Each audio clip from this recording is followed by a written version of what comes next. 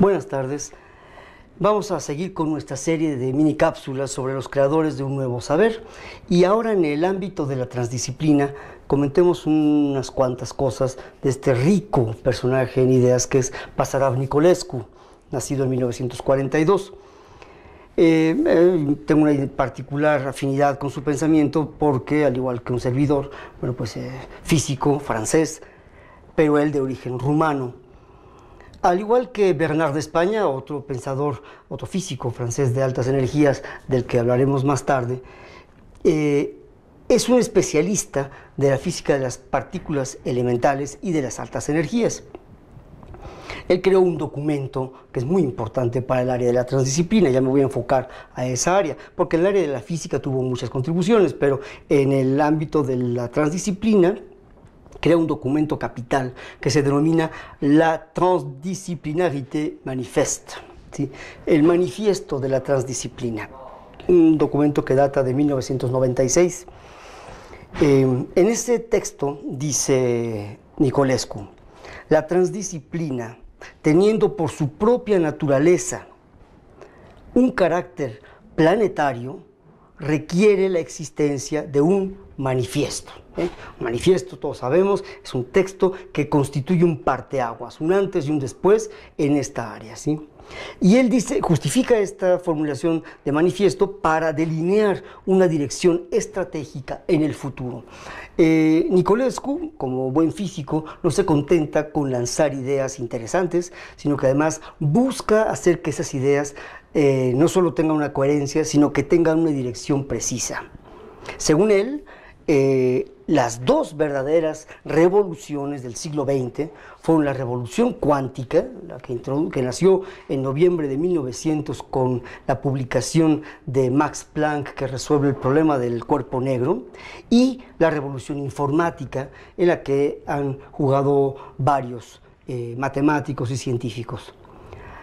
Tanto la grandeza como la decadencia del cientificismo, aclaro, no de la ciencia, sino del cientificismo, es decir, de esta idea que preconiza que la ciencia está por encima de todo, como en el caso del positivismo, derivan de su obsesión por las ideas de ley y orden. En ese sentido, eh, dice Nicolescu, eh, no hay duda que ley y orden son dos niveles fundamentales, ¿sí? pero ¿sí? la grandeza tanto la grandeza como la decadencia del cientificismo radican justamente en eso. ¿sí? Por eso conceptualiza la transdisciplina como la conjunción de tres elementos, no solo dos, no solo uno, sino los tres y en igualdad de proporción de relevancia. Primero, los niveles de la realidad. Segundo, la lógica del tercero incluido, ya hablaremos algo cuando hablemos de Estefan Lupasco.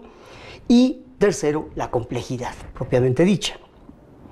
A partir de, este, de, la conjunción de estos tres elementos que son lo que constituyen la transdisciplina, recuerdan ustedes que ya habíamos comentado cómo Jean Piaget había creado ese concepto, pero Nicolescu definitivamente lo lleva hasta sus últimas consecuencias.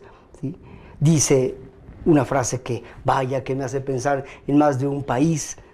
Una cosa es segura, una gran brecha entre la mentalidad de los actores y las necesidades internas de desarrollo de un tipo de sociedad siempre acompaña a la caída de una civilización. Mientras más se aleja la vida del ciudadano de la calle, de los discursos llenos de saliva de los políticos que pretenden representarlos, esa sociedad está destinada inexorablemente a fracasar y finalmente decaer y desaparecer. Eso es interesante, porque eh, Nicolescu, un físico teórico, hablando de estos aspectos, nos recuerda, ¿sí? en un franco eco a Henri Bergson, cómo reconoce la relación biunívoca entre dos grupos de conocimientos. Por una parte, la transdisciplina, que hemos brevísimamente comentado, y por otro, la unidad abierta del mundo. Nicolescu es un vivo ejemplo del alcance social y político que puede, y a mí me parece, debe poseer la ciencia básica. Muchas gracias.